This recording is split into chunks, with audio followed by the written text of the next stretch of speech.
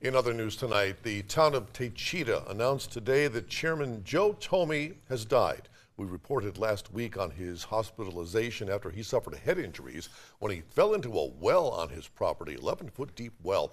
Following the fall, he died of his injuries. He was 62.